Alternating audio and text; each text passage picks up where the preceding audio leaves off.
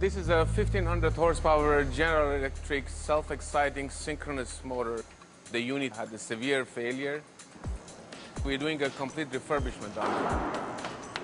Right now, the guys are inserting the coils, the high voltage coils, which is designed for this particular motor.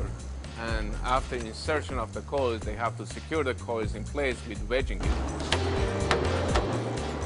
Then after that, what they're gonna do, they have to do the connection on the job, and then I have to re-insulate the connections. Then it has to be submerged in a VPI for uh, varnish penetration through the coils.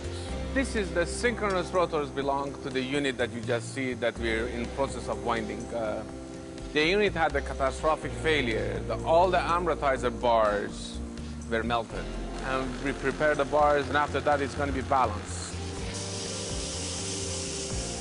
And after the balance, the bearings obviously would be installed on and will be ready for assembly.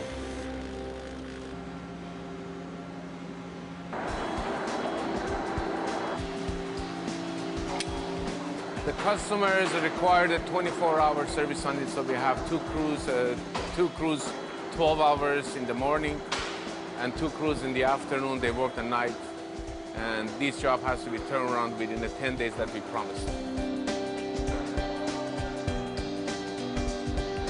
Slowly.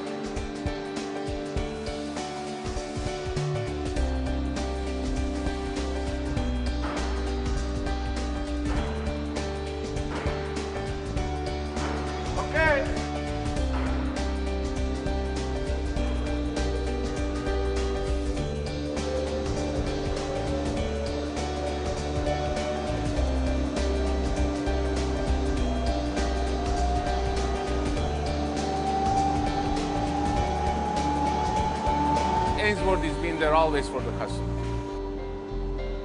Ainsworth has been one of the best when it comes to our fast service. We provide a very quick response to customers, and the customers, they like that.